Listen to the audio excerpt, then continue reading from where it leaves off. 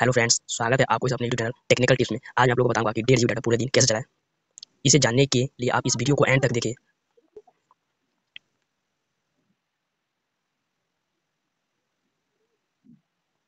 आपको हम इस वीडियो में सिर्फ़ दो सेटिंग ऐसा बताने वाले जिन्हें आप ऑन करके डेढ़ जी डाटा पूरा दिन चला सकते हैं। ऐसा ट्रिक शायद आपको किसी ने नहीं बताया होगा। यदि आप हमारे चैनल पर न है तो हमारे चैनल को सब्सक्राइब कर लीजिए और बेल आइकन को दबाकर ऑन कर लीजिए ताकि सभी इंपॉर्टेंट वीडियो का नोटिफिकेशन आप तक पहुँच। सके चलिए तो देर नहीं करते वीडियो शुरू करते हैं।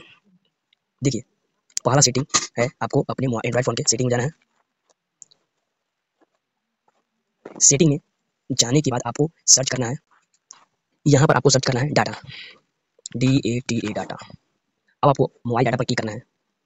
यहाँ पर आपको नीचे को दिखाई दे रहा होगा डाटा एंड सिक्योरिटी पर। इस पर आपको क्लिक करना है। इसके बाद आपको दिखाई दे रहा होगा data settings and data usage आपको इस पर क्लिक करना है। यहाँ से अब आपको दिखाई दे रहा होगा। डाटा सेविंग मोड आपको इस पर क्लिक करके इसे ऑन करना है।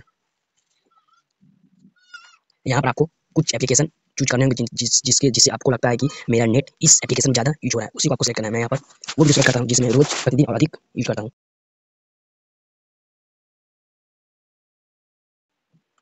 और नीचे की आप देख सकते हैं कि जिसमें आपका नेट जल्दी खत्म होता है, आप उसे चूज़ कर सकते हैं।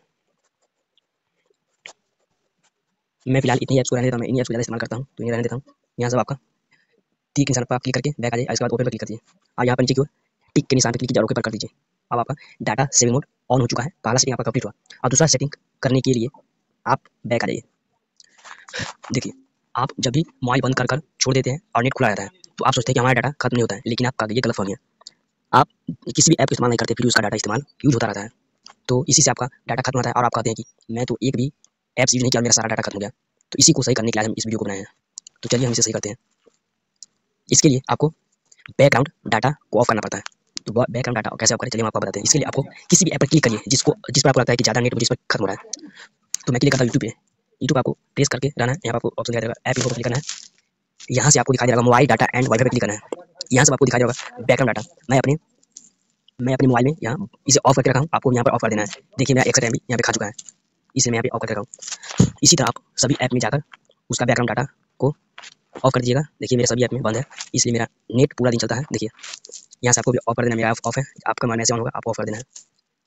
यही कुछ था जिन्हें आप ऑन करके ऑन करके डेज़ डाटा पूरे दिन चल सकते हैं। यदि वीडियो पसंद है तो शेयर लाइक और सब्सक्राइब करना बोले धन्यवाद।